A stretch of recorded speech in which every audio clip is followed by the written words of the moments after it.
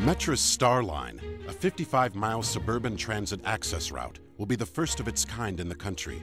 A suburb to suburb commuter line connecting Cook, DuPage, Will, and Kane counties, and its 1.6 million residents living and working in 100 communities.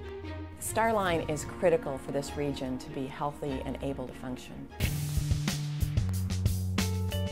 Phase one of the Star Line will start in south suburban Joliet, traveling north, linking the most densely populated areas in the region.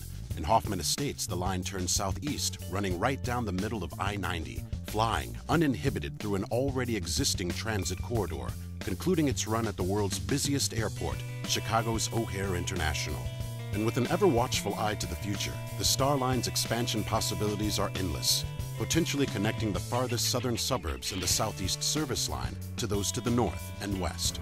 This comprehensive plan will seamlessly connect with Metra's current system and integrate the region's most populated communities, benefiting hospitals, universities, growing businesses, and employment centers. The Star Line will do a couple of things for the, for the business environment. First of all, uh, we'll keep the um, cars off the road, significantly reduce congestion, and make it uh, easier for employers to recruit from within the area and for employees to get to and from work. Secondly, the economic benefits of uh, transportation infrastructure are you know, incredible and it will uh, make the region much more competitive on a national basis.